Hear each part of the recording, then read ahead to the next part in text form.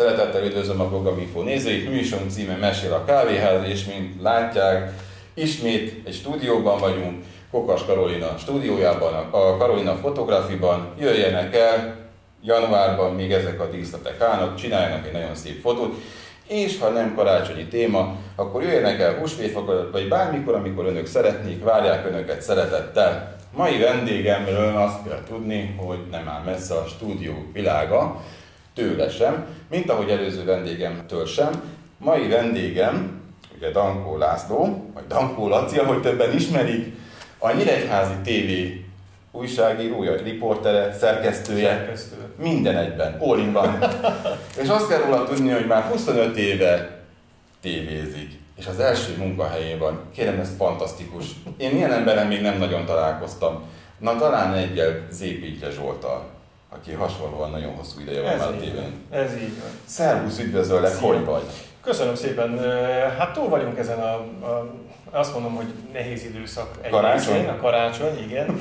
Igen, ez nekünk azért nehéz, mert hozzászokunk évközben, hogy folyamatosan úton vagyunk, folyamatosan munka van. Most volt két hét pihenő, nem is nagyon emlékszem ilyenre, hogy mikor volt utoljára, és hát már most hiányzik egy kicsit, vannak ilyen elvonási tünetek, hogy jó lenne már megint menni, jó lenne megint örögni egy picit jobban, de azért jól esett a pihenő is. Melyik része hiányzik, a sport vagy a siesta? Vagy minden együtt? Minden, minden, minden, minden. Hát most ez a vírus ez keresztül húzta az egész idei évi terveinket. Ugye kezdődött azzal, hogy tavasszal elmaradtak a meccsek. És nem zárkapusak voltak, hanem konkrétan mindent lefújtak. Na most ez egy komoly kihívást jelentett, hogy onnantól kezdve hogy oldod meg. Napi sportot ugyanúgy gyártani kell, de egy hétig, meg két hétig el voltál azzal, hogy befejeződött ez a bajnokság is, az a bajnokság is, hogy fogsz működni, mit csinálsz majd a következő napokban, de aztán teltek, múltak a hetek, és nem történt semmi. Na most ilyenkor is ki kell találni valamit, ez egy komoly feladat volt, most ősszel könnyebb volt, mert azért voltak meccsek, ami a siestát illeti, ott meg annyiból nehezebb, hogy most a stúdiót nem tudjuk használni. Ugye a műfáz le van zárva, oda nem jöhetnek be vendégek, így mi sem fogadhatunk vendégeket, ezért hozzád hasonlóan vagy kimegyünk hozzájuk, és ott a helyszínen készítjük el az interjúkat, vagy volt már olyan, volt igazgatónő, de például, ahol, ahol megálltunk az Rínyinek a bejárata előtt, oda hívtuk ki, és ott tudtuk elkészíteni az eresz alatt, meg még esett is az eső, tehát a bejáratnál. Úgyhogy hát ez egy komoly, komoly feladat most. Apropó műsorkészítés, azért nektek rengeteget sokat kell ötletelni, nem? Tehát, hogy azért kellenek az ötletek. Honnan meríted? Sokat. Hát az internet világa nagyon sokat segít. De amikor én ezt az egészet elkezdtem, ahogy említetted 25 évvel ezelőtt, furcsa ezt vissza gondolni erre, hogy, hogy talán a mai fiatalok már nem is tudják mi az, hogy telex, vagy mi az, hogy fax, hogy hogy működött ez az egész, csak vezetékes telefon volt, és akkor jött esetleg egy-két fax, ott álltunk csodára várva, hogy na, vajon honnan jött és hová mehetünk. Ma már az internet világában sokkal könnyebb, tehát Mióta a közösségi oldalak működnek, ráklikkelsz, jön fel automatikusan, kivel mi történt, esetleg érdekesebb esemény, merre járt, és akkor azonnal próbálsz rá lecsapni. Most azért egy nagyon csúnyát tőled kérdezni, elég pervers az vagy ahhoz, hogy 0-24-be be legyen kapcsolva a telefon és a, a hírek bombázását? Várod? Nem vagyok Pintyes Volti. tehát azért nem. De, de igyekszem napra kész maradni, és igen, tehát azért, hogyha ha van 10 perc, hogy várakoznom kell valakire, vagy valamire, akkor persze veszi elő az ember a telefon, és elkezdi olvasni a híreket, vagy böngészi a közösségi oldalt. Én nagyon sokáig kitartottam, hogy, hogy nem volt se Facebook, se Instagram, semmi. Másfél-két éve van, talán nagyon sokáig úckodtam ellene, és, és azt kell, hogy mondjam, hogy kicsit kinyílt a világ, mert rájöttem, hogy nagyon sokan már ott osztják meg, hogy mi történt velük, és csodálkoztam is, hogy a többiek honnan tudják, hogy már megint XY merre járt, miközben innen. Úgyhogy ez is nagy segítség nekünk. És kinyomott nagyobbat adatba a gyerekek, hogy Instagram és Facebook, vagy... A cég. cég. Igen, a cég, mert azt mondták, hogy, hogy hát ilyen nincs, hogy nincs még, még közösségi oldalad, és már pedig jó lenne, ha lenne, mert akkor többen tudnának róla, hogy mi mindent csinálunk, meg te mi mindent csinálsz. És akkor az elején elkezdtem, még olyan furcsa volt, aztán jöttek egyre több ismerős, aztán már jött az, hogy jé, lájkolták, ó, de már milyen sokan lájkolták, már 22 ismerősöm van, és hogy ment, az Instagram pedig hát az, gyakorlatilag egy, nem is tudom, nincs még fél éve. Ez egy szükséges kellék? Na ott viszont a gyerekek. Tehát ők mondják, hogy apa, a Facebookot már csak a idősek használják, meg te. Mondom, köszönöm szépen, úgyhogy a fiatalok már az Instagramot, és akkor így most térjünk át. Most jön a TikTok, na arra még nem vagyok hajlandó, tehát amikor megnéztem, hogy az micsoda, hogy ott táncikálnak, meg beszélgetnek, meg ilyenek, na az még, egy, az még mindig azért arrébb. Képzeld, ez nagyon érdekes a TikTokkal kapcsolatban. Múltkor felfedeztem olyan témákat, olyan dolgokat, amelyek csak ott léteznek, és viszonylag azért eléggé jó, nagy tudású emberek is beszálltak ebbe a TikTok bizniszbe. De való igaz azért a többségnek az tűnik fel, legalábbis nekem is azt tűnik fel, hogy ott táncolnak, uh-huh. meg örkölködnek, meg átvedik a, az asszonyt, vagy éppen a kedves urukat. Hát azért az durva, tehát én, azt, én ebben is szálltam. Egy nagyon furcsa volt, mutatták nekem is, és, és akkor ráklikkeltem, pont egy hölgy bemutatta, hogy éppen lazanyét készít Amerikában, és az egész videó az körülbelül volt 30-40 másodperc, ahogy éppen tésztát rakosgatja, és kész. És ennyi volt, és ránéztem, több ezeren erre rákattintottam, mondtam, hogy de akkor én, aki egész nap mondjuk loholok egy egyperces híradós anyagért, akár a megyek különböző pontjaira, azt megvágjuk, az meg 63 embert ért el éppen abban a pillanatban, és akkor egy kicsit úgy magam marosgatom, hogy ezért dolgozok egész nap. Tehát, hogy megváltozott azért a világ. Tehát nem mondom azt, hogy pozitív irányba, mert sok, te is tapasztalod gondolom, sok igénytelen Igen. dolog is felkerül, Pontosan. aminek nem biztos, hogy kellene, az igényes meg esetleg elsikkad. Igen, sajnos azt, azt látom, hogy így megvágják az egészet, tehát hogy az emberek azt, azt szeretik, amiben nem kell gondolkodni, tudod, Ez mert hogy, mert hogy ez sokkal jobb úgy csak úgy lazán belenézni, úgy bambulni. Uh-huh. Van elég rossz az életükben, és úgy gondolják, hogy akkor, amit ilyen szórakozásra szánnak, azt nem éppen arra a tudományos érdekes tartalomra fogják fordítani, amit mondjuk csináltok. Egyébként ez tényleg így van. Még mi is tapasztaltuk, saját kolléganőm is mondta, hogy amikor hazamegy, akkor butulni akar már, bocsánat a kifejezésért, hátradől, és van, hogy ilyen realitiket néz.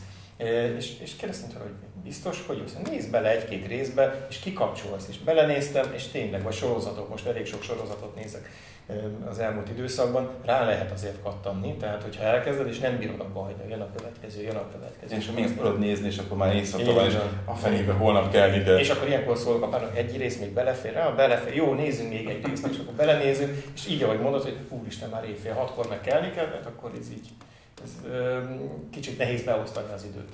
És hogy jött neked a tévézés? Mert azért te neked végzettségedet tekintve tanárember vagy. Igen. Hát illetve úgy kezdődött az egész, hogy a Széchenyiben jártam, programozó és képesített könyvelő az első szakmám. Na most ne jegye meg senki, abban az időben megint csak a fiatalabbaknak mondom, ők már nem tudják mi az, hogy nagy floppy lemez, egyáltalán kis floppy lemezről sem nagyon hallottak. Mi még a nagy floppy lemez volt a szervergép, azzal indult be az egész hálózat, és doszos alapon meg, meg Pascal nyelven tanultunk programozni. Na most, ahogy befejeztük a, a Széchenyi, gyakorlatilag egy fél éven belül kijött a Windows, és onnantól kezdve, amit te tanultál, az, az úgy... Az úgy elég volt. Viszont nagyon sokan programozó vonalon mentek tovább. Én már akkor éreztem az első fél év után, hogy ez nem az én világom, tehát ez a matek agy, tehát ez, ez, ez nagyon nem. De úgy voltam vele, hogy akkor legyen egy szakmám, és hát a könyvelésről meg annyit, hogy, hogy emlékszem, amikor érettségiztünk, akkor 31 nyáron jártunk az osztályba, és egy mérleget kellett készíteni. És volt, akinek tudom én, a cég 3 millió plusszal zárta a, az évet, nálam éppen 4 millió minusszal, de mindenki simán leérettségizett. Tehát akkor rájöttem, hogy jobb az, hogyha profi könyvelőt alkalmazok majd a saját cégemnél, és utána hát mindig is inkább ilyen humán beállítottságú voltam, a tanárképző főiskolára jelentkeztem, történelem művelődés szervező szakra. De az igazsághoz tartozik, hogy már egész pici koromtól érdekelt a, a, a televíziózás, illetve ez a riporteri szakma. Egyrészt haditudósítónak készültem először, Krudinák Alajos hatására néztem az irak iráni háborút, és ez, ez, ez nagyon megfogott, hogy milyen bátor és hogy ott van. Aztán rájöttem, hogy ez, ez egy kicsit veszélyes, sokkal egyszerűbb a sportriporter, igen, és hát gomfoci meccseket rendszeresen kommentáltam a, a, az osztály bajnokikon, és gyakorlatilag úgy nőttem fel, hogy folyamatosan mondtam, hogy, hogy kinél alapta, meg hol van, meg mi, mi történik, és hát ezért is mentem utána a, a művelődésszervező szakra, mert annak volt egy ilyen tömegkommunikátor szakosító része, arra jelentkeztem, illetve hát azt választottam, és volt egy kötelező gyakorlat, így kerültem a tévéhez. Ez volt 96, 1996 elején. Most ott töltöttem egy hónapot, akkor januárban a, a televíziónál, Márföldi István volt a, a főnök, mint Zsoltinál, mint Balogh Bélánál, mint Bocskai Magdánál. Ő azért ő meglátta általában a fiatalokban azt, hogy, hogy mi mindent lehet velük kezdeni. Kérdezte tőlem, hogy téged mi érdekel, mondtam, hogy hát például a sport, vagy a kultúra, vagy ilyesmi, és mondtam, hogy hát sport, na, megint egy hülye sportos, tehát körülbelül ezzel el is intézte. De ott voltam egy hónapig, és akkor folyamatosan írtam tudósításokat. Majd jó főiskoláshoz híven, ahogy visszakerültem a főiskolás életbe, inkább elkezdtem hát lazábban kezelni ezt a dolgot. Tehát mondták, hogy járjak vissza a tévébe, de nem nagyon mentem vissza, hanem aztán júniusban amikor az államvizsgám megvolt, akkor egyszer csak megcsörgött ott van a telefon, egy amerikai történetben, és mondta, hogy Márföldi István vagyok, na, és megvan már a diploma, mondtam, hogy megvan, akkor nincs kedved visszajönni, jó lenne, ha benézni. Bementem, és akkor Debrecenben volt egy BBC-s tanfolyam, egy, egy forgatócsoport tartotta angol nyelven, mi ott voltunk egy hetet, és azt kell mondjam, hogy az az egy hét az meghatározó volt az életemben, mert a szakma 80%-át az alatt az egy hét alatt tanultam meg. Közben jöttek a nagy tévétől, a híradótól, szerkesztők előadásokat tartani, és, és hát ott maradtam a tévénél. És akkor állást kínáltak, úgyhogy így, ahogy mondtad, a főiskoláról kikerülve nekem az az első munkahelyem. Térjünk egy picit vissza itt a lövésekre, mert úgy itt a haditudósító. Azért elárulom neked, hogy tőlem sem áll messze a sport, főleg a kézilabda volt, egy kézilabda portálunk, egy országos, egész jól működött, és elmentünk az egyik ö, meccsre Székesfehérvárra, és ott pont melegítettek be a lányok, vagy azt hiszem, hogy lehet, hogy a Magyar Kupa négyes döntő volt, és ott melegítettek be, és az egyik román kislány megküldte a labdát, és a akinek dobta a passzolta, ő elfelejtette elkapni, és én itt a pályaszélén ültem, és így puff, és beestem a, mondjuk úgy a, a kis pad közé. És itt még a kézilabdásport? Nem, nem képzeld el, hanem az történt, hogy a, a City Beának pont akkor volt a térdműtét, és jegelték állandóan a térdét. Lekapta a térdéről a, a sportorvos a, a jeget, és így hozzá ide szorított, és mindenki azért csodálkozott, hogy atya úristen, mekkora mágia van! Hát hasonlóan jártam én is képzeld, illetve nem én, hanem a, a, a, nagyobbik lányom, aki akkor még nagyon pici volt, Fucsovics Marci játszott a, a Bújtosi csarnokban Gulbis ellen. És akkor volt először top 100-as meccse Marcinak, és hát bevitték a csarnokban, erről is lehetne mesélni, hogy mennyire nem akartak játszani egyébként a, ott az ellenfél, egy Davis Kupa mérkőzés volt, mert alkalmatlannak tartották a, a, pályát arra, hogy, hogy itt játszanak, na, de egy kis Szabolcsi Pálinka mindent megoldott, végül is a vezetőség belement néhány kocintás után, mégiscsak lejátszák a meccset. Na, egy jó apuka elviszi a gyereket a meccse, mégiscsak lássa Gulbiszt, illetve Marcit. És csodálkoztam, hogy mindenki ugye a lelátón ül, és mondtam, hogy lent is vannak székek kirakva, nem ül ott senki, gyerek kislányom, majd mi lemegyünk, lentről nézed meg Marcit közelről. Egy szépséghibája volt a történetnek, leültünk a sarokhoz, szemben Gulbis szervált, és ahogy megpattant a labda, abban a másodpercben a gyereket fejbe találta. Ugye ugyanúgy járt, mint te, így a székre a hátra, mint felhördült az a 2000 néző, aki a csarnokban volt, én kézzel mert legény sírva fakadt, és akkor kisétáltunk a csarnokból, de hetekig emlékezett erre a Gulbis meccs, mert nagy volt, ott maradt a, a homlokán. Azt gondolod, de milyen jó lesz majd a később elmesélni neki? Vagy igen, mások, már emlékezett rá, igen, már a gyerekeinek. Rá, úgyhogy most biztos, hogy ő is emlékszik erre, de kézilabdában is volt történet, hát rengeteg kézi meccsen voltunk mi is. Szőke Pista bácsira lehet emlékszni, hogy volt annak idején a hidegyházi edző, és és neki volt egy szokása a meccs előtt egy pár percen még kiment rá gyújtani egy cigarettára, mert kicsit idegesebb volt. És abban az időszakban néhányan próbáltak potyázni és bemenni az oldalsó ajtón a csarnokba, hogy ne kelljen hegyet venni, ezért kiadták a biztonsági öröknek, hogy senki nem léphet be a csarnokba, csak ha van írásos papír és rajta van a listán. Na most Pista bácsi kijött cigarettázni, mi éppen mentünk be a forgató ö, csoporttal, hogy, hogy forgatunk az eseményről, megyünk be, és akkor a biztonsági őr megállította Pista, állj, maga hová? És mondta, hát én vagyok az edző. Na, na, az bárki mondhatja. Valami papírja van, nincs, akkor nem mehet be. És Pista bácsi szegény így állt a bejáratnál, mi meg mentünk, és akkor minket intettek, hogy mehetünk nyugodtan tovább. És kérdeztem tőle, mi a baj Pista bácsi? Hát ez nem akarnak benni a meccsre. Fiúk, igazoljátok, hogy tényleg ő az edző? Igen, tényleg. Na jó van, menjen, de máskor hozzon papírt. Tehát a biztonsági őr nagy úr. Igen. Szóval elkezdtél a tévénél dolgozni. Nem is gondoltál egy percig sem soha nem fordult meg a fejedben az, hogy, hogy te elmész tanítani? De tanítottam, de csak a kötelező gyakorlat erejéig ott is. A, hát most Vécsei iskolának hívják, akkor 12-es számú általános iskola volt, és Bodnár Zoli, aki kiváló néptáncos, és történelem tanár, egyébként imádtam a történelmet, mai napig nagyon szeretem, nála voltam gyakorlaton. És hát az első hét után mondta, hogy megy ez neked simán, úgyhogy menjél be nyugodtan egyedül az órára, én addig teszek, veszek, intézem az ügyeimet. És hát emlékszem, volt egy C-osztály, soha nem felejtem el, maradjunk annyiban, hogy az osztály fele az bukásra hát úgy történelemből, és mondom, gyerekek, van egy hetetek, most uh, itt az alkalom, hogy akkor ezeket a jegyeken javítsunk. Zoli bácsi nincs itt. Ha normálisan viselkedtek és figyeltek órán, és mindenki csendben van, akkor óra végén kaphatok egy-egy jó jegyet órai munkára, és akkor úgy meg lesz. Na most volt egy, egy kis srác, hát kicsinek nem nevezném, 16 éves volt már, de még hetedikbe járt, és hát ő szintén bukásra állt, és mondtam neki, hogy na figyelj, Rolikám, ki jössz ide felelni, nem lesz bonyolult a kérdés, Spartacus féle rabszolgafelkelés, nem is volt hetedik, még, még, még azt hiszem ötödik osztályban volt, és erről teszek fel neked kérdéseket, és ha jól szerepelsz, akkor meg lesz az a hármas. Azzal meg már talán átmész egy kettessel.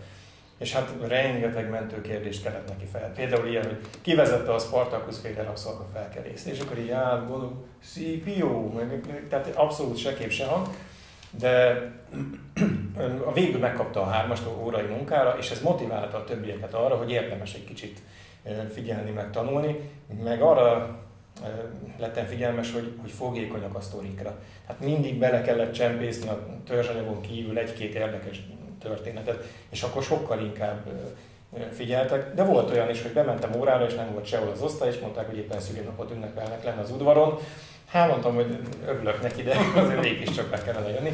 Szóval szívesen tanítottam volna, de, de az élet másképp hozta. Ez így jobb volt, nem? Jobb, jobb, jobb. Volt egy, egyébként olyan, hogy már később, amikor a főiskolán volt kommunikáció szak, akkor hozzánk jött egy gyakorlatra, és mondjuk egy fél éven keresztül akkor én voltam a gyakorlatvezetőjük.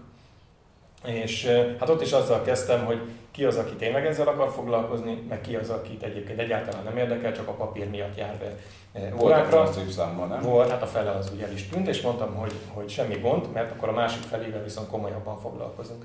És erre büszke vagyok, hogy közülük gyakorlatilag mindenkiből valamilyen szinten újságíró lett. És egy könnyebb volt, hogy megvolt a képesítésed arra, hogy... Könnyebb, könnyebb. Hát mondjuk pedagógiailag, vagy pszichológián, vagy, vagy különböző olyan órákat, azért vezetés elmélet nekünk volt ilyen a művelődés szervezésen belül, azért sok mindent lehetett tanulni, amit tudtál később hasznosítani. Milyen gyerek voltál? Ha már itt tartunk, hogy a gyerekek lent voltak és szülinapot tartottak, te milyen gyerek voltál? Jó. Tehát nem, nem voltam ez a rossz gyerek, sőt. Tehát így kicsit, hogy mondjam, eminens is voltam. Tehát sokat tanultam, el is várták a szüleim, főleg édesanyám, ő azért elég ilyen szempontból maximalista volt, és hát végig kitűnő voltam általánosban. Utána a középiskolában ott már nehezebb volt, és nekem az egy nagy törést is jelentett, hogy az általános iskola után, mikor bekerültem a középiskolába, azért ott csupa olyan gyerek volt, mint, mint én, vagy, vagy még okosabbak, vagy még ügyesebbek mondjuk azon a területen, főleg a reál területen, és akkor úgy, úgy, úgy furcsa is volt az első fél év, de aztán belerázódott az ember is, és megtalálta a maga útját. Mit csinálsz mostanában? Azon kívül, hogy ugye naponta bejársz és dolgozgatsz és csinálod a... Hú, rengeteg dolgot. Tehát ugye mellett a tévézés mellett most már 8 éve a, a Sunshine fm is dolgozom reggel. Na pont erre akartam kiukadni. Tehát ott nem titok, ugye Bélával mi nagyjából egyszerre kezdtük, kicsit más is a viszonyunk, mint főnök és beosztott, mondhatom azt, hogy baráti is a viszony, és ő amikor hívott, hogy először csak annyi sporthírek, aztán utána már kicsit kibővült, most a reggeli műsorban vagyok, most már egy, egy, egy jó ideje, plusz a, a híreket szerkeztem, az megint egy másik világ. Emellett dolgozom a Sparinak, mint sajtófőnök, tehát ott, ott, az nekem egy álom. Tehát gyerekkoromban állandóan, amikor fociztunk, akkor nem értettem, hogy hogy lehet a Fradinak szurkolni, meg a Honvédnak, meg a Juventusnak, miközben Nyíregyházán élünk, és itt van a Spartacus. Tehát úgy engem kirobbantani nem lehetett szombatonként a meccsekről, tehát ha esett, ha fújt, akkor is mentem. Hát az Isten nem adott annyi tehetséget, hogy focista legyek, viszont utána megadta azt a lehetőséget, hogy mégis ott legyek abban a közegben. Úgyhogy ez meg egy megtiszteltetés volt, mikor megkerestek, hogy segítsem a, a, a munkájukat, úgyhogy hát ezeket csinálom, plusz még ugye a tévézés mellett a Városkép Kft-nek kibővült most már a, a sor az interneten, iregyháza.hu plusz a napló, ami, ami az írásos forma, úgyhogy nem unatkozunk. Van dolgod rendesen. Van, van, van, van. Azt gondoltam, hogy amikor jössz, jöttél hozzám, hogy utánad nézek a neten, és pár azért, pár dolgot megnézek, hogy mit csinálsz, meg hogy hogyan, hogyan éled az életedet. Te eléggé lokálpatrióta vagy. Nagyon, nagyon. Nekem régen, ha Budapestre kellett menni, és ott tölteni egy teljes napot, akkor délután négykor már vágytam vissza. Ma már ez azért megváltozott. Tehát lehet, hogy ez azzal is függ össze, hogy régen 5 óra volt egy út Budapestre, meg, meg 4-5 óra még vissza. Most ott vagy két óra alatt. Meg talán, ahogy öregszik az ember, és, és most már utazhat esetleg külföldre, és látja az, a, a dolgokat, most már más. Most már, hogy mondjam, megbarátkoztam Budapesttel Régen nagyon nekem olyan rideg volt, az emberek ilyen lehajtott fejjel rohantak, nem szóltak egymáshoz. Nekem ez kellett, hogy, hogy ez a kisvárosias légkör, de azért kertvárosban élek, tehát az meg aztán pláne még egy kicsit olyan is a városon belül is, mint hogyha egy, egy külön rész lenne, tehát kicsit ilyen falusiasabb jellegű. De, de igen, így jól mondod, hogy én lokálpatrióta vagyok. Tehát, és ez büszkén is vallom, hogy, hogy szerintem ez már nem is nagyon fog megváltozni. Soha nem is gondolkodtál azon mondjuk, tudod, az emberek, amikor már úgy nyitották a határokat, hát azért 89-ben, amikor már szabaddá vált úgy nagyjából minden, pláne 2001-ben, amikor Európai Uniósak lettünk, akkor mindenki megőrült, és a fiatalok többsége, többek között az én egyetemista társaimnak a többsége is kiment külföldre szerencsét próbálni. Te soha nem is gondoltál arra, hogy te Hát és soha nem mondom azt, hogy ez nem jön el ez az idő, mert nem kizárt, hogy egyszer majd azt mondja az ember, elég fura lenne, hogy kint keresnek egy magyar kommentátor, az angolon meg annyira nem jó, hogy mondjuk kint dolgozok, de, de soha nem lehet tudni. Igen, ilyen szempontból sokkal könnyebb. Amikor mi voltunk gyerekek, akkor ha, hát én Csehszlovákiában voltam, akkor még Csehszlovákiának hívták, ott voltam egyedül külföldön, meg amikor már független államok közössége volt a Szovjetunió, épp a felbomlás lenne, akkor Ukrajnában, vagy az ukrán részen voltunk, Ungváron, de ennyi volt nagyjából a külföld. Tehát nem nagyon tudták külföldre menni. És még akkor is mindig féltünk attól, hogy a határnál vámellenőrzés, busz, jaj, a batacipőt, vagy nem tudom mit csempésztem éppen haza a Csehszlovákiából a lábamon, fel fogják ismerni, ez egy vadonatúj cipő, és ha ó, akkor ha leszállítanak a buszról, az milyen lesz. És milyen furcsa, hogy ez a mai napig hiába most már Schengeni határ, és úgy mész át, hogy nincs ellenőrzés, azért az a para még mindig benne van az emberben. Tehát, hogy megyünk Ausztria felé, jaj, mi lesz, jaj, ha vámvizsgálat, jaj, hogy ha, ha valami, nem kötnek bele valamibe. Én életemben egyszer voltam azóta Ukrajnában, mindenki járt ki ugye benzinért, cigarettáért, stb. és mondták, hogy olyan hülye vagy, hát itt van veszed drágán a benzin, miközben itt vagyunk egy pár kilométerre. De nem volt erre affinitásom, és egy ismerősöm mondta, hogy megy, ki nincsen kedve vele menni. Na, mondtam, jó, úgyis ráérek, megyek majd. Na de aztán elszakadtunk egymástól, külön kocsival mentünk, és mentem át a határnál, és ott állt a, a én nem tudtam, hogy 100 forintot kell adni a kis katonának, meg utána a másik, meg a vámos, hogy éppen hogy meg mind működik. És jött az ukrán vámos, és kérdezi, nézi az utat, hogy maga még nem volt itt Ukrajnában soha nálunk. Mondom, nem, hol lakik maga? Hát, Nyíregyháza. Hát az nincs is messze. Nincs. Józsi, hallod már? Hát ez még sose volt kint tankolni. Kezdtem magam hülyének érezni. Akkor visszafelé jöttem, akkor meg a magyar vámos kérdezte, hogy cigaretta, vagy, vagy valami eh, alkohol, no, nem hoztam semmit. Hát az első benzinkuton én megtankoltam, visszajöttem, kész. Mondta, nem hozott egy karton cigarettás? Mondom, nem. Hát ezt lehet. Mondom, hát nem dohányzom, miért hozzak Hát hallod már, nem hozom cigarettát. Tehát olyannyira hülyén éreztem magam, hogy kifelé és vissza, és hogy én voltam a loser, hogy többé nem is mentem. Tehát úgy voltam vele, hogy nekem ez ennyi procedúrás, sorbanállást, meg ilyesmit, azt, hogy, hogy, hogy kicsit olcsó volt, nem, egy kaland volt inkább maga az, az utazás. Szóval visszatérve az eredeti kérdésre, nem tudom, hogy ha, ha most lennék fiatal, nekik sokkal könnyebb. Nekik azért mi orosz tanultunk, úgy kerültünk át az angol nyelvre, hogy gyakorlatilag az orosz tanárunk velünk együtt tanult a részben az angolt. Tehát nem sokkal át, vagy volt előttünk. Viszont a következő angol tanárom, akinek nagyon hálás vagyok a, Széchenyibe, ő, ő olyan alapokat adott, hogy én a mai napig abból élek, abból az angolból, de teljesen más, mint egy mostani általános iskolás, aki 4.-5. osztálytól már úgy kerül ki a nagyvilágba, hogy, hogy elméletileg folyékonyan beszél angolul. Tehát nekem ebből is van egy kis komplexusom, tehát nem nagyon merek megszólalni, hogyha ha úgy kell, nehogy hülyeséget mondjak. Például egy étteremben, ezért háromszor meggondolom, hogy mit mondok. Pedig nem kell.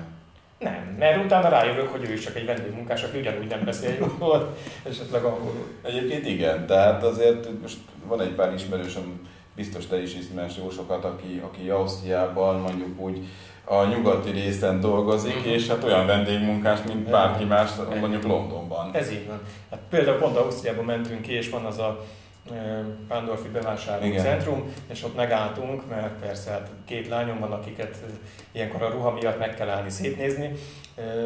Nem vettünk persze semmit, de két óra hosszát sétálgattunk, és ott volt egy ilyen étterem rész, ahol megálltunk kajázni, és válogattunk ott különböző ételek közül, hogy ez mi lehet, hogy mi lehet, és persze a pult mögül magyarul tökéletesen megszólalt egy hölgy, aki onnan jár át valahonnan Sopron környékéről is, és mondta, hogy ezt azért ajánlom, mert, ezt meg azért, mert. Tehát a magyar egy világnyelv. Igen. Mindenhol tudnak magyarul. Ezt majd úgyis, ezt, ezt már egyszer elmeséltem a Zsoltinál, az építja Zsoltinál, de nálad neked is elmondom, hogy képzeld el, hogy, hogy ugyanígy jártam Pándorba, csak azzal a különbséggel, hogy a hölgy az arab volt, uh-huh. Győrben lakott, vagy Győröt lakott, és, és tökéletesen megtanult angolul, németül, franciául, spanyolul és magyarul, és még tudott arabul is. Tehát, hogy én megkérdeztem tőle, hogy nálam ugyan honnan jött. Azt mondja, hogy innen az arab emírségből jött, csak ugye volt itt egy barátja, és akkor átjött, és stb. és most itt lakik Győrben, és átjár minden nap, szóval így brutális. Tehát ez Zseniális. Én Németországban jártam így, amikor egyszer kimentünk akkor éppen autót venni, tehát mindenki akkor nyugati autóért ment, és Nürnbergnél vittem magammal egyik cimborámat, aki, aki jól beszélt németül, és hát mentünk egyik kereskedéstől a másikig, és az egyik litván volt, a másik arab, a harmadik török, a negyedik, és némettel alig találkoztunk, és mindenki mondta, hogy a hat németek azok megbízhatók. Mondtam, hogy nagyon jó, csak ezen az utcán de nem lakik sehol német. De egyébként ott éreztem azt, hát ez is valamikor 98 környékén lehetett, hogy, hogy azért micsoda különbség volt már akkor mondjuk a két ország között. Ott egy ideiglenes rendszámot megkapni, az kb. 6,5 percben telt, mikor kifizettem a, a, az összeget az autóért, akkor átmentek Ivánhoz, aki egyébként hát ugye ősi német Igen, ember volt. Ő, igen, oda egy kis ott született. ott született, megkap, odaadta a, a, a rendszámot, addig engem megkínáltak kávéval, mire megittem a kávét, már fenn volt az autón az ideiglenes rendszám. Ugyanez hazafelé hegyes halomnál 6 és fél órámba került hogy megkapjam a belépésnél az ideiglenes rendszámot, és mondták, hogy kapok 24 órát, hogy aztán Budapesten a Mozaik utcába, vagy nem tudom hová kellett visszavinni, vámoltatni az autót.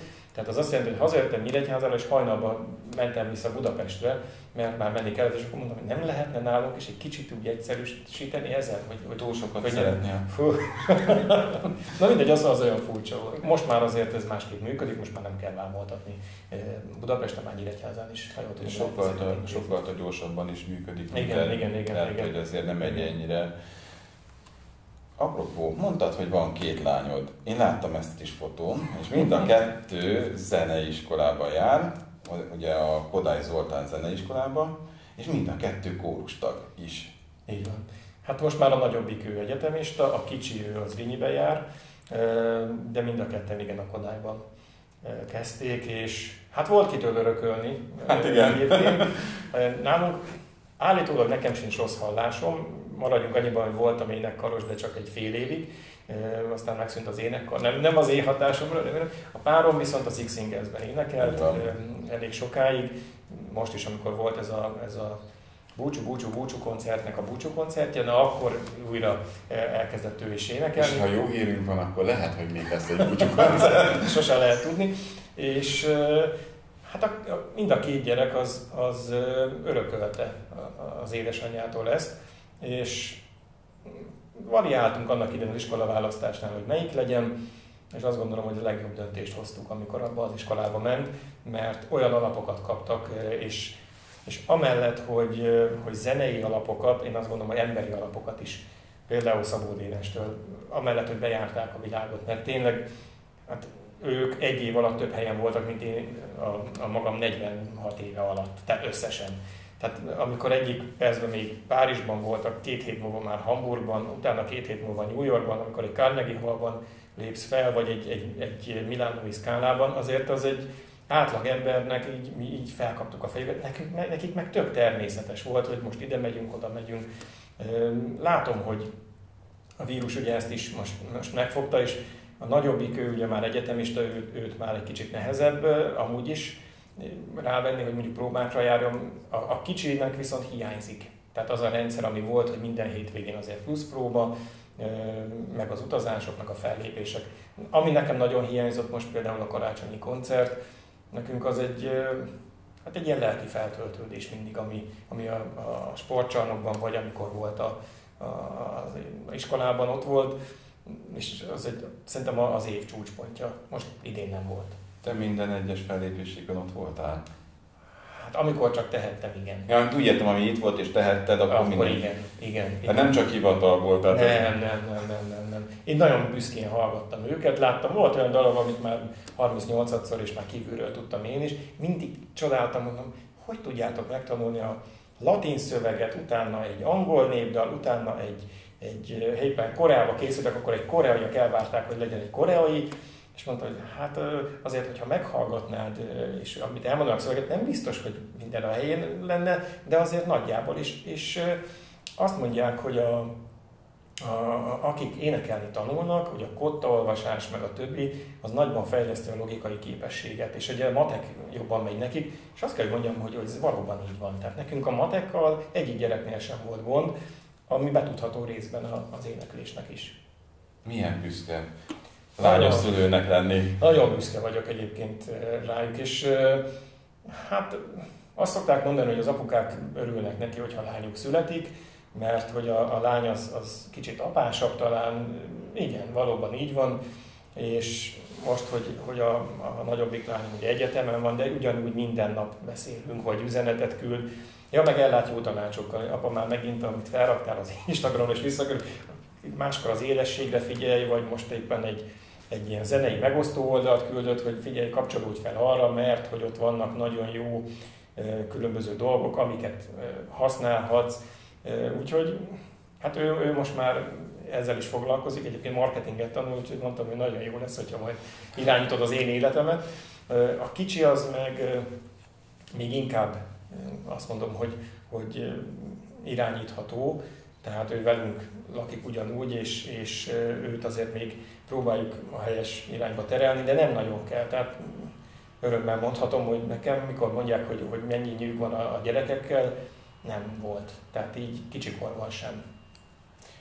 Azt szokták mondani, hogy ha egy szülő mondjuk úgy idézőjelben téve híresebb, tehát hogy többet látható mondjuk különböző médiumok felületén, akkor azt szokták mondani, hogy fú, vajon mit szóltak a gyerekek, amikor mhm. kiderült, hogy apának, apa ezt csinálja. Nálatok mi volt a reakció? Ne, az volt a vicces, hogy nekik ez teljesen természetes volt, hogy, hogy ebben nőttek fel. Pont a, a, a lányommal beszélgettünk, és fiúk néztek valami kézi meccset, ugye most volt a kézilabda Európa bajnokság, és nézték azt hiszem a Dánia-Norvégia meccset, és akkor kérdezték tőle, hogy, hogy Jászmin, te tudod, mi az a kézilabda? Hogy rájuk nézett, és annyit mondott, hogy édesapám sportriport, ez szerintetek? Én egy stadionban nőttem fel. És ez tényleg így van. Tehát, hogy, hogy jöttek velem.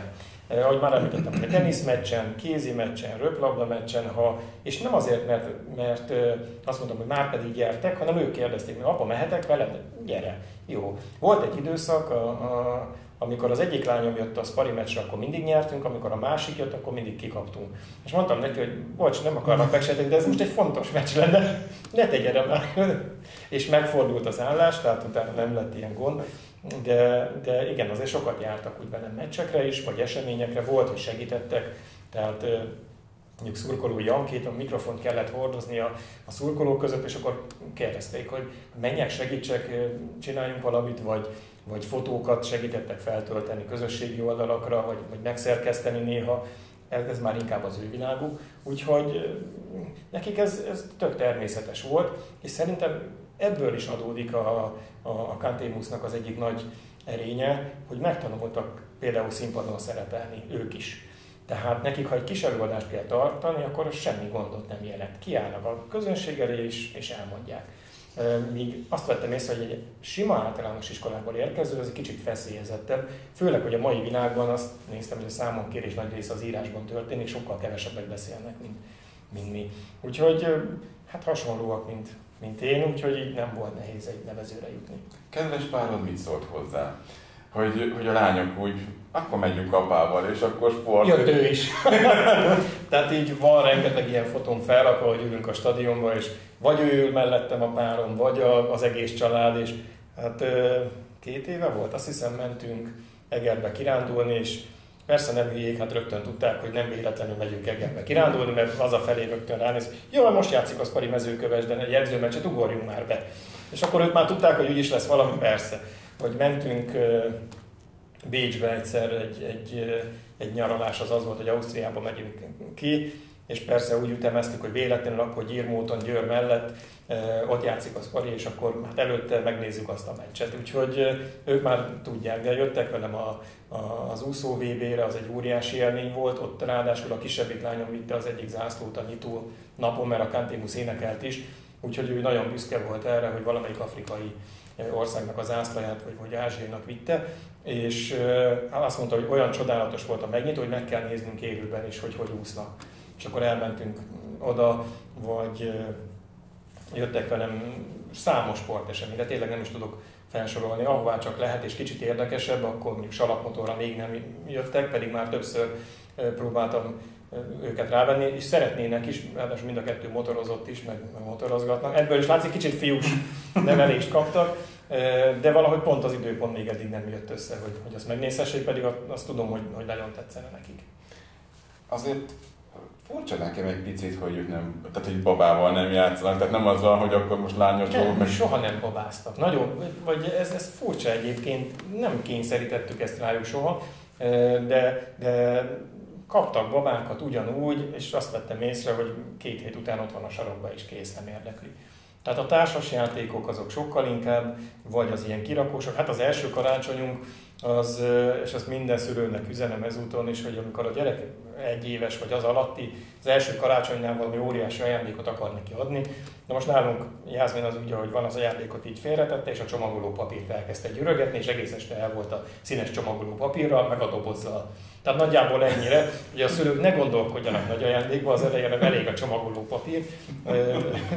Következőnél ilyen, nem tudom, ilyen, ilyen hamburgersütőt, meg ilyesmit kaptak, ami ilyen játék, tehát ilyen műanyag játék, és milyen érdekes, hogy mind a kettő szeret sütni, főzni. Hogy, ennek hatására, vagy már kicsi korban is ezért kérték ezt az ajándékot, de volt olyan, hogy porszívót kértek ajándékba, de egy játékporszívót persze, vagy, vagy mixert, vagy, vagy, vagy bármit, és mind a kettő így, így előszeretett süt sütiket, vagy, vagy készít ilyen, főleg ilyen egészségesebb ételeket. Képzeld, de az egyik ismerősömnek a gyerek új szintén mondta, hogy egy takarítóeszköz szeretne, tehát porszívó, stb. és valahonnan szereztek, nem tudom, hogy honnan hozták, ami valóban tud port szívni, uh-huh. de nem tehát elemes tök jó volt, mert ezt a porszívózott a gyerek.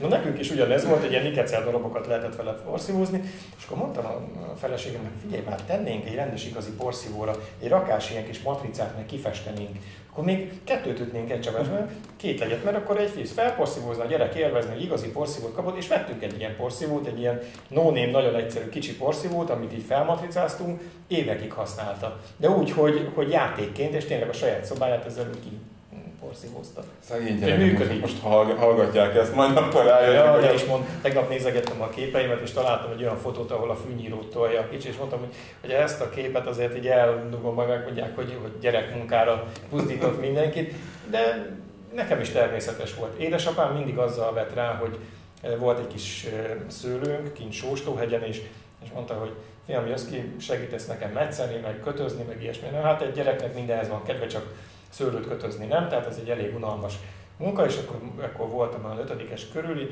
és mondta, hogy jó hosszú homakút van, néhány kilométer, a gondolat te vezetsz. Hát abban a másodpercben persze mentem, és ültem be az autóba, és akkor megtanított vezetni ott a homokúton, és én alig vártam, hogy utána menjünk mindig, és nem érdekelt az, hogy közben mi mindent kell csinálni. Tehát meg kell találni, hogy hogy vezess rá a gyereket arra, hogy, hogy szeressen dolgozni. Ez mondjuk egy tök jó ötlet. Tehát végülis most szülőknek tanácsok is a tanfolyam. tanfolyam. Igen. Azon gondolkodom, hogy ha ennyi mindent csinálsz, hogy jut időt pihenni? Mm, Jut, de, de mindig azt szoktam mondani, hogy, hogy nekem olyan szempontból szerencsém van, hogy a munkám egyben a hobbim is. Most ilyen hangzik, de amúgy is kint lennék a meccsen, most meg még fizetnek is érte, hogy kint vagyok. Tehát amúgy meg jegyet venni. Tehát ezzel ne éljen vissza senki. Tehát így is úgy is ott lennék, szeretek menni. De van olyan, hogy, hogy persze, amikor tudod, hogy, hogy most vagy zárt kapus meccsek, azért nem olyan a hangulat. Azt is tudod előre, hogy egy lefutott meccs lesz, mondjuk akár egy, egy röplabda meccs, amikor a, az első helyen álló Nyíregyháza mondjuk a tök utolsót fogadja, és tudod, hogy az egésznél csak az a kérdés, hogy hány perces lesz a meccs. Tehát, hogy nem az, hogy ki nyeri, hanem hogy milyen mennyi idő alatt. Annak azért nincs akkora élménye, de, de amikor szabadidőm van, akkor azért azt szeretem hasznosan tölteni. Én nagyon szeretem a, az autómat tisztogatni, vaxolgatni. Tegnap megmostam, ma szakad az eső. Tehát 11-kor elkezdtem, most ugye kicsit több pihenő van, és olyan három óráig ezt piszkálgattam, a legutolsó kis csavarig, meg mindenfélét. Vagy van egy motorom, és akkor azzal esetleg elmegyek kirándulni, nem ilyen időben, decemberben, de, de nagyjából ez a szabad Itt mondtad ezt a zárkapus meccseket. Hogy éli meg egy, egy sportújságíró, ha szabad így neveznem, mert ugye hát végül is javarészt most ezt csináltad Igen, kezdetekből.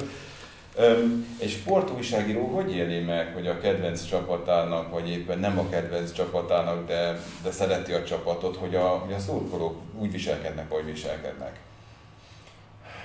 Nehéz egyébként, mert a szurkolókkal jó viszonyt ápolok. Tehát ők azért előszeretettel odajönnek, megkérdeznek dolgokat, hogy Macikám, mi van már megint, főleg az idősebbek, akik, akik jönnek, megkérdezik, ki lesz esetleg az a játékos, aki érkezik, vagy, vagy, vagy aki távozik. A, az ultrák egy részével meg együtt szurkoltam. Tehát én azért nem titokoltam a szurkoló is, tehát volt olyan, amikor átmentem Debrecenbe, és a, a, együtt vonultunk végig az állomásról, tehát azért olyan kötődésem is van hozzájuk. Mm, nehéz, és olyankor nekem is nehéz kívülállóként semlegesnek maradni. És ilyen szempontból van előnye annak, hogy helyi tévénél dolgozol, hogy neked nem kell semlegesnek maradni, te szurkolj a Nyíregyházának. Kaptam már ilyen negatív vízhangot, nem is egyet, amikor például Békés Csabát megvertük 6-3-ra, és én újogtam természetesen a góloknál, a nyíregyházi góloknál, a Békés Csabainál meg, ah, gól. Tehát nagyjából ennyi, és hogy milyen kommentátor volt ez, és mondták, hogy hát ez a nyíregyházi kommentátor, majd a Békés Csabai örüljön a Békés Csabai pontoknak. Tehát én, én ugyanúgy együtt tudok élni a játékosokkal, a, a szurkolókkal. Most így, hogy, hogy ilyen zárt kapus, és említetted, hogy nehezebb, mindig próbálom megtalálni benne a jót. Nagyon nehéz, úgyhogy nincs hangulat. Most az egyetlen pozitívum, hogy hallod az összes edzői utasítást, fentről a játékosok káromkodását néha, hogy mit reklamálnak a játékvezetőnél. Tehát volt egy röplabda meccs, nagyon régen, még valamikor a 2000-es évek elején, amikor a járamszünet miatt elmaradt a találkozó, úgy félbeszakadt. Kaposváról jött, ha jól emlékszem, a csapat, és akkor mondták, hogy csak nem utaznak vissza Kaposvárra, hogy újra, eljönnek, nagyon messze van, másnap reggel lejátszák a meccset, mert csak akkor szabad a, a bújtosi csarnok. És egy 10 órakor kezdődő mérkőzés volt, de most gondolhatod milyen hangulatban. Konkrétan az operatőr, a technikus, meg én ültem ott, meg a játékosok a pályán. És akkor integettek, amikor az elején beköszönnek, így felnéztek, és így látták, hogy mi, mi ott köszöntek nekünk személyesen, és akkor nem mertem hangosabban kiabálni, mert akkor ők is hallották, amit én beszélek lent. Tehát voltak azért ilyen pikánsabb dolgok, hogy hogy éli meg az ember, amikor esetleg nem úgy megy a csapatnak, az Hát nem mondom őszintén, van olyan meccs, amikor hazamegyek, és én sem tudok elaludni órákon keresztül, forgolók, hogy mert hogy ott az ICER miért nem rúgta be a játékos. Tehát kicsit úgy, mint az edző, meg a játékos, úgyhogy meg mint ahogy a többi szurkoló rosszul, hogyha nem megy. Ha, ha viszont megy, és sikerül győzni, akkor, akkor meg együtt örül velük. Maradjunk még egy picit a lányoknál. Ha már, ha már van két szép lányod, említetted a ruhavásárlást, te szeretsz shoppingolni? Hát nem annyira. Tehát szerencsém van olyan szempontból, hogy a feleségem sem. Tehát, hogyha ruhát kell venni, akkor nincs ilyen gondom, mint, mint sok fér szokta mondani, hogy na az asszony már megint mit vett, meg hogy, meg mind. Ő nem. Ő ha elmegy vásárolni, akkor a gyerekeknek vásárol nagy részt. Tehát elmegyünk, hogy veszünk nekem egy nadrágot, neki egy felsőt, a vége az, hogy hazállítunk két gyerekruhával. Tehát nem annyira. Viszont most már, hogy nagyobbak, ők, ők megveszik maguknak. Ha, ha ilyen nagyobb boltba megyünk, akkor valahogy nekem mindig a műszaki részre be kell mennem, szét kell néznem, hogy a polírpaszta vagy a, nem tudom, a szilikonspray az nem akciós-e, vagy, vagy, vagy most mondtam valamit, de, de ott, és, és engem nagyon be lehet csapni ezekkel a 9-es végződésű számokkal, tehát ha a 19.990, akkor az nálam nem 20 ezer, hanem 19. Tehát az, azt, azt nagyon megeszem, a, a, az akciókat régen azt nagyon. Amióta interneten keresztül én nagyon sokat vásárolok egyébként online, és és amióta össze tudom hasonlítani az árakat, azóta van néhány bolt, amit kifejezetten bolykottálok, mert nem tetszett az, hogy ami eddig 10 ezer forintba került, azt feláraszta 15 ezer forintra, majd akcióban 12-re lehozta. Miközben egy héttel előtte még 10 ezer volt. Tehát amikor ezt úgy érzem, hogy becsapják a vevőt, akkor oda abban a boltban nem vagyok hajlandó többébe menni. Mert volt ilyen is. Nagyon sok ilyen kütyűt rendelek egyébként kintről. Hát ez is a férfiak baja szerintem, mostanában már kevesebbet, de de Kínából, ami ilyen egy meg két dolláros, ilyen semmire nem használható vicek, vacak, na olyanból otthon van egy rakás tudsz. Tehát a, a gumi köteles teniszlabdától kezdve, amit leraksz és ütögeted magadnak is visszajön, ami még be sem volt üzemelve, tehát még nem próbáltam, hogy működik-e. A GPS nyomkövetőn keresztül, amit azért vettem, hogy ha véletlenül ellopnák a motoromat, majd megtalálom, hát kipróbáltam, teszteltem, majdnem hajszál pontos, csak 500 méter tévedett. Tehát hogy nagyjából be tudod határolni, hogy melyik városban lehet, hogyha elvitték, de hogy hol, az, az, az nem. És nagyon sok ilyen, ilyen, ilyen cuccom van, főleg ilyen technikai kütyük, most neked is itt rengeteg dolog van, aki állvány, mikrofon, stb. És akkor így ránézek, hogy hú, de hát ez csak két dollár, 600 forintért adnak egy csiptetős mikrofont, hát ez a hülyének is megéri.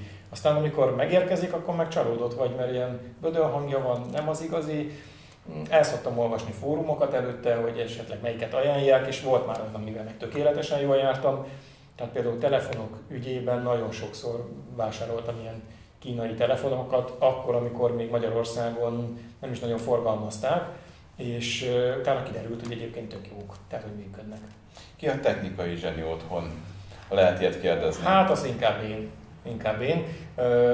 Sok dolgot a párom is megcsinál, tehát ilyen, ilyen szerelést, meg mindent, de ő nagyon precíz, én meg nem. És a kettőnk között ez a, a különbség, hogy múltkor egy tükröt kellett felfúrnunk a falra, ami nálam körülbelül három percig tartana, mert annyi, hogy két lyuk, belefúrok a tiplibe, tükör fel. Náluk ez másfél óráig tartott a lányokkal, mert vízszintező, méregetés, egy centi feljebb, egy centi le, nem, inkább így, inkább úgy, és mondtam nekik, hogy csak akkor szóljatok, amikor már fúrni kell. Tehát amikor már minden be van jelölve. Itt van melletted ez a szép karácsonyfa, ez nálunk úgy működik évek óta most már, hogy közösen elkezdtük feldíszíteni. Feldíszítettük, majd a párom így ránézett, és akkor így egy jó pár díszt meg leszedett, amit én felraktam, mert az oda nem illik, mert oda más kellene, átrakosgatta, a hátulja lyukas a fának, mondtam, az úgyse látszik, tehát ezek a... Praktikus férfi dolgok. Igen, hát én, úgyhogy már most mondtam nekik, hogy figyeljetek, csináljátok ti, díszítsétek ti, a csúcsot azt mindig én rakom fel, tehát a tetejére az, az megvan, meg esetleg az égőket, de, de most már rájuk hagyom, inkább díszítsék, mint hogy még egyszer leszedjék és visszarakják azt, amit én csináltam. Nálunk is ugyanez van, anyukám mondja, hogy hátuljára tegyünk, úgysem látszik. Igen, Tehát, igen. Minek? Hát tavaly képzeld, olyan szerencsém volt, olyan fát találtam, ami gyönyörű volt. Na ez is egyébként sokat szoktam így bíbelődni a fa választással. Mindig egyedül megyek most már, hogy valamelyik lányt hiszem, hogy fogja, ne essen ki a csomagtartóból, mert túlóg általában a csomagtartó. És ment egy házaspár, nézegették, körbeforgatták, hát nem is tudom, na, nem, talán a másik, csokolom, ezt nem tetszik elvinni? Hát még gondolkodunk, de miért kellene? Hát mondom, hogy ha már ki van véve, körbeforgatta, akkor nekem ez tökéletes. Talán másfél percet töltöttem a, a fenyővásárlással. Ugyanez, hogyha ott vannak a lányok, akkor azért ez sokkal több idő. És tavaly sikerült egy olyan fenyőt találnom, a kutyának nem kellett, mert az egyik fel az konkrétan így nem volt rajta szinte semmi levél, és mondtam, nagyon jó, sarokban nekünk pont jó lesz, és jó lett. Tehát, tehát működött. Mit fog szólni Sugi, ha ezt meghallja? Hát most idén jó fát választottam. nem, nem szokott. Nagyon korán megvettem most november elején még, és, és aggódtam, hogy le fog hullani a levele, de hál' Istennek kibírtam, meg vízbe tettem, meg mindent próbáltam vele úgy foglalkozni, de kellett egy, hát arra nem gondoltam, hogy ebbe a hálóba, hogy összehúzzák, azért ott áll másfél-két hónapig majdnem az a fa, az úgy is maradt. Tehát leszettük róla a hálót, és a fa úgy maradt ilyen, mint a rakétatúja. És mondtam, hogy ki fog ez rugódni vajon, vagy ez most már így marad, de kirugódott. Tehát a díszek azért lehúzták. Hallgatlak így, és az jutott eszembe, hogy én nem tudlak elképzelni, hogy ha neked szabadidőd van, akkor te a ház körül teszel-veszel. Ez így is van. Igen, akkor megyek ki a kertbe azonnal, vagy az udvarra. Tehát akkor jön a fűnyírás, a sövényvágás, amit gyűlölök. Tehát fú, mindenkit arra buzdítok, akinek csoda sövénye van, ne, ne, ne, ne fogjon bele, ugyanis jól nézett ki, amikor építkeztünk, nem volt pénz kerítésre, hogy van ez a csoda sövény nevű növény, ami turkesztáni szír, a hivatalos neve, ez egy év alatt két méter képes növény. Ó, oh, ez kell nekem, rögtön megrendeltem, nem is tudom hány száz tőt, valahonnan a világ végéről, meg terültettem, megnőtrányáztam mindent. Na ez tényleg két méter nőtt, úgyhogy egy év alatt tökéletes kerítésünk lett. Hát de ez tovább nő. Tehát el kellett kezdeni nyírni, és akkor egy év alatt nekem egy sövényvágó az kuka, mert olyan erős az ága, tehát nem olyan, mint a rendes sövénynek, és van 70 méter kerítés, mert hál' Istennem még sarok, saroktelek is, tehát így, ahogy lenyírom az egyik részt, mire a másikra befejezem, kezdhetem előről az elejével. Úgyhogy Hát van mit csinálni. Van egy kutyánk, amit örököltünk, tehát egy, egy kedves ismerősömtől, aki mondta, hogy a gyerekeknek vitte a kutyán, de a gyerekek nem nagyon foglalkoznak, fogadjuk be. Nekünk volt előtte egy kutyánk, és akkor azt el kellett sajnos altatni, úgyhogy ez egy teljesen más stílusú kutya, úgyhogy ő is ott van velünk. Hát ő, egy dilinyós, én csak úgy hívom, tehát éjjel-nappal foglalkozni kellene vele. Úgyhogy ha kint vagyok a kertben, vagy a garázs környéken, akkor ott van mellettem. Nem unatkozol? Nem, nem, nem, nem, nem. Tehát valamit, azt szokták mondani, akinek mondjuk kertes háza van, mindig van mit csinálni. Hát nincs olyan, hogy otthon bent ülsz. Ugye TV, televíziózás.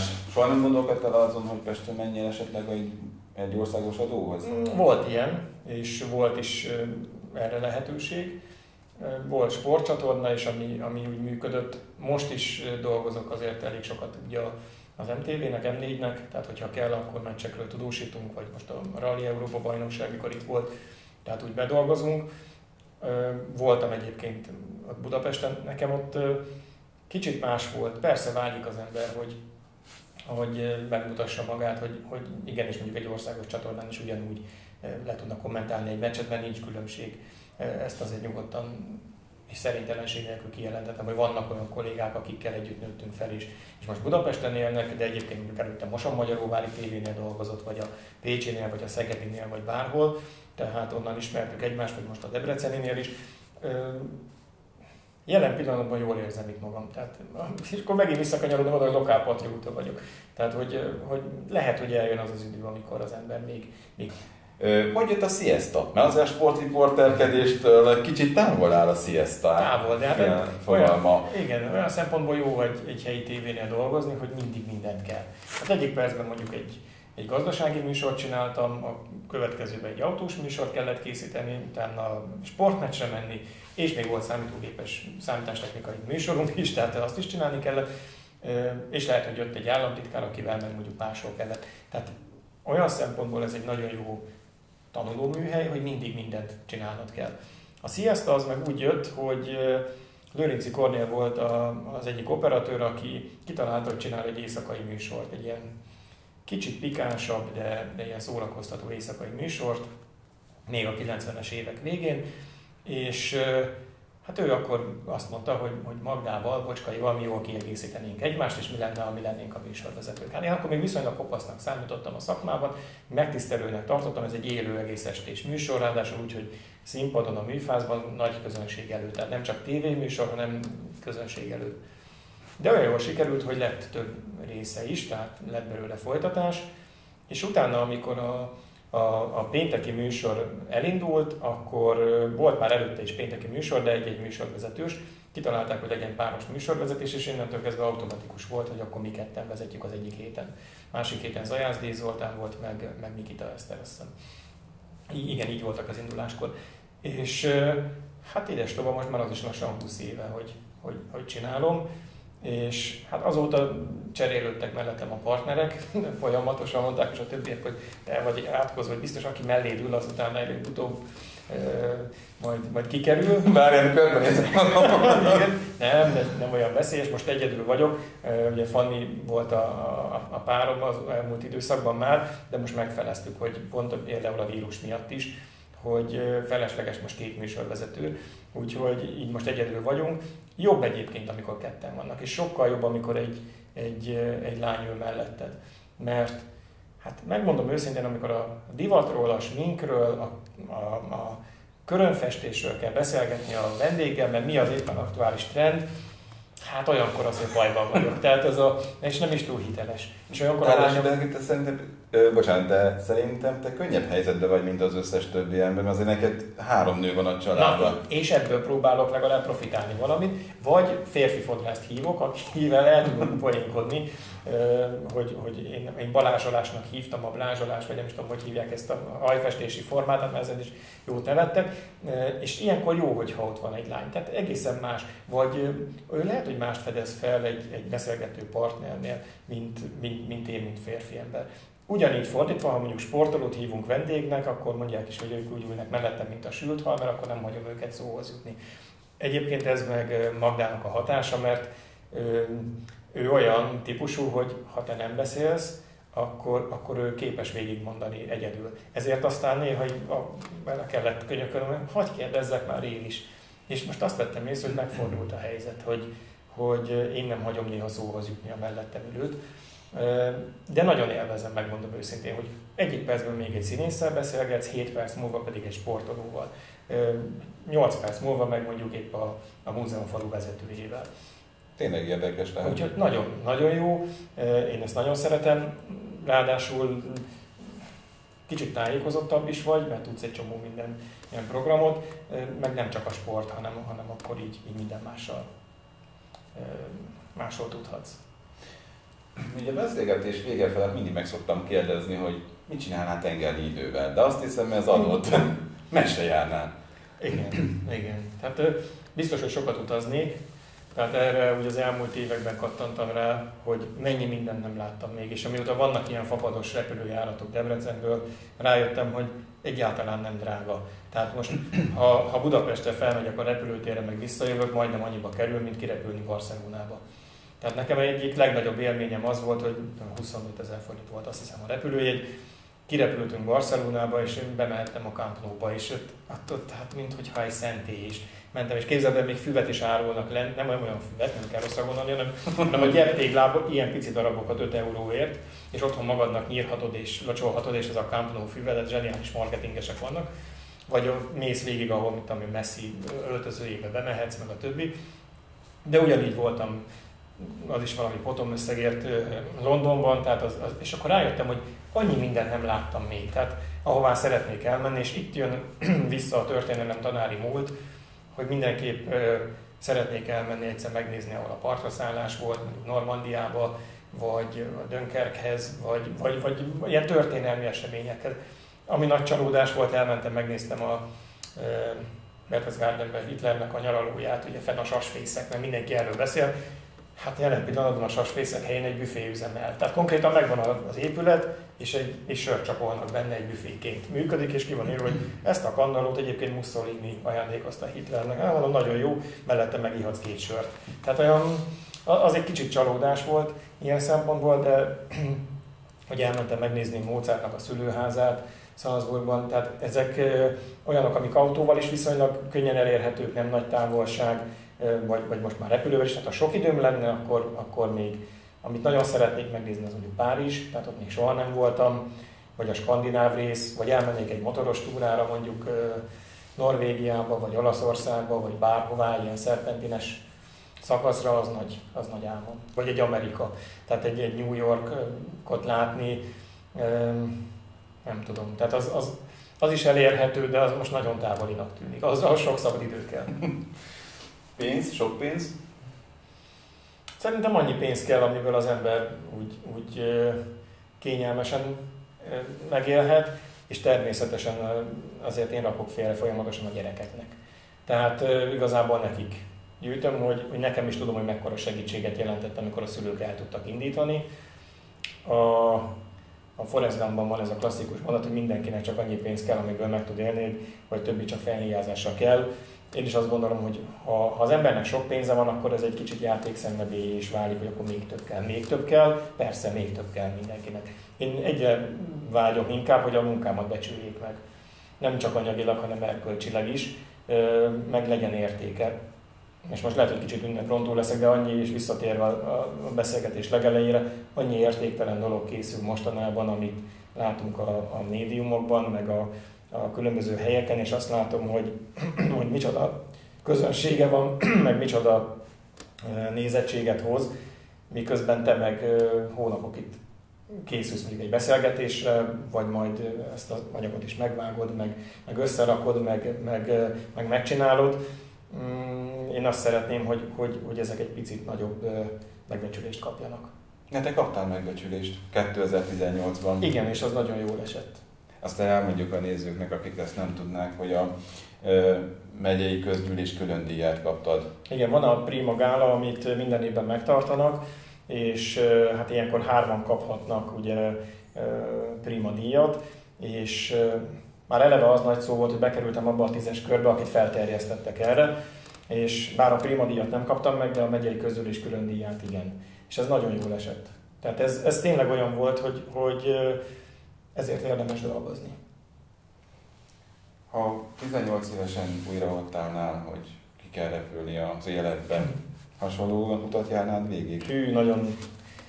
Hát egyrészt nem szeretnék most 18 éves lenni, tehát így nem irigylem a mostani 18 éveseket, szerintem nekik sokkal rosszabb, mint nekünk. Ugye mi együtt jártunk egy általános iskolában, Igen. tudjuk milyen volt ott a hetes iskola környékén felnőni. Hát nagyon buli volt. Nem? Tehát így bicikliztünk, mentünk, nekünk az összes őrsi úra az a NVSC pályán volt, ami azt jelenti, hogy fociztunk. Tehát, hogy ott, ott, ott, ott éltük le az életünket, és, és a szülők nem aggódtak, hogy hol vagyunk, hanem tudták, hogy, hogy valahol császkálunk a, a telepen, ahogy mi hívtuk, de időben otthon leszünk. Tehát nem volt okos telefon, nem volt internet, nem volt semmi, és mégsem aggódták agyon magukat. Szóval nem irigylem a mostani fiatalokat, de kérdésedre válaszolva, ha választhatnék, ugyanezt csinálnám még egyszer. Meg hát az iskola mindig nyitva volt. Hát arról nem beszélve, bármikor bemehettél bármit, focizni, kosarazni, vagy, vagy, vagy egyszerűen csak ott volt, ott egy olyan közösség volt, ott voltak a barátaid. Igen. Megyei külön díj, egy elismerés. Egy olyan elismerés, amire az ember mindig vágyik. Mit éreztél?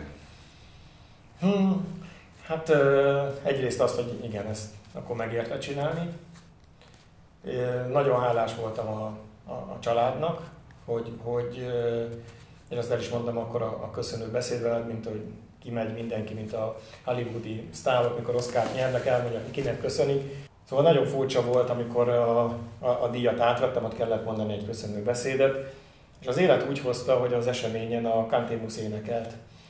És Dénes bácsi kiállt, a két lányom ott énekelt, a feleségem ott ült mellettem, hát ennél nagyobb öröm, hogy az egész család ott volt, amikor a díjat megkapod, nem nagyon lehet. Ráadásul Szabó Dénes nagyon rendes volt, mert ugye ők tudták, a, a, ez már az eredmény hirdetés után volt, és akkor mondta, hogy a következő dalat pedig nekem küldik. Na hát ez meg egy másik olyan dolog volt, hogy, hogy megható volt, életem egyik meghatározó és nagy élménye volt. Úgyhogy büszke vagyok rá, és nagyon boldog voltam. Egy utolsó kérdés. Van-e álom, riport, vagy álom, meló, amit még szeretnél megkapni, vagy hát megcsinálni? Van, persze. Persze, hát nagyon szerettem a Forma 1-et gyerekkoromban is Kővári Jani barátunk, aki közös ismerősünk, hát a mai napig ezzel cinkel, hogy éjjel-nappal mindig a Forma 1-ről beszéltem neki. Oda egyszer eljutni úgy, hogy dolgozni, tehát nem csak nézőként. De emellett is vannak persze minél nagyobb sztárokkal beszélgetni. Tavaly nagy élmény volt Pujollal vagy Kafuval, amikor itt voltak Nyíregyházán találkozni, és egy színpadon állni és beszélgetni velük két mondatot Ugye két legendás BL győztes focistáról van szó, de találkoztam már olimpiai bajnokokkal, olimpikonokkal, ez nekem mindig egy külön, külön nagy élmény. A Kapás Bogival akkor találkoztunk egy 24 órás úszóversenyen Nyírbátorban, amikor még senki nem tudta, hogy kicsoda. Tehát egy, egy kis pici, vékony, törékeny lány, aki akkor éppen valami korosztályos verseny nyert. Arra nagyon büszke voltam, vagy Fucsovics Marci 11 évesen volt a riportalanyom, aztán lám, lám mi lett belőlem, a legjobb magyar teniszező. Ezekre úgy büszke vagyok, meg jó úgy visszagondolni. És most is bízom abban, hogy vannak olyan gyerekek, mondjuk akár egy hatházi Dóri, aki, aki egyszer majd sokra viszi. Závacki Bálint, aki a golfozó, és szerintem profi golfozó lehet belőle. És ez a legjobb, amikor visszatekint az ember, azt mondja, hogy jó, őt gyerekkorból ismertem, és ilyen sokra vitte, hát ha lesznek, lesznek még ilyenek, igazából erre vágyom. És hát, hogyha összejönne mondjuk egy, egy kis Forma 1 munka, vagy ilyesmi, de akár egy alkalommal, hogy a box utcából valamit csinálhatnék, azzal már maximálisan elégedett lennék. Benyújtjuk fentre kérésnek. Igen. Hát én köszönöm, hogy eljöttél hozzám. Én köszönöm, hogy, hogy meghívtál, és hát remélem, hogy tudtunk azért olyan dolgokról beszélgetni, ami, Mindenképpen. ami a nézők számára is kicsit érdekes lehetett, és, és akkor már, ha a Primadíról beszélünk, megint büszke vagyok arra is, hogy egyáltalán ennek a sorozatnak a tagja lehettem. Hát én érzem magam megtisztelve, hogy itt voltál, és hát a jövőre nézve én nagyon jó egészséget kívánok neked, sok boldogságot, meg hát a volt főnökem azt mondta mindig, hogy kimagasló munkasikereket. köszönöm szépen. Jelentsen ez bármi. Okay, köszönöm szépen. A kedves nézőktől már a búcsúzunk, viszontlátásra, viszont hallásra.